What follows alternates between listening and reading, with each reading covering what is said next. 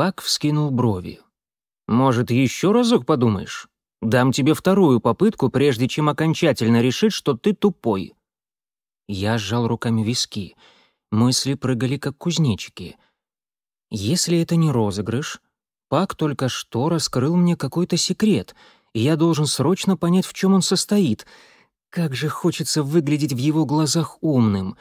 Но я настолько не ожидал разговора о Лисе, что в голову не приходило абсолютно ничего. Пак захлопнул книгу и навис надо мной, упираясь руками в стол. Я слегка отодвинулся. Вдруг у него окажется пасть с вампирскими зубами, и он меня сожрет. Ничему уже не удивлюсь.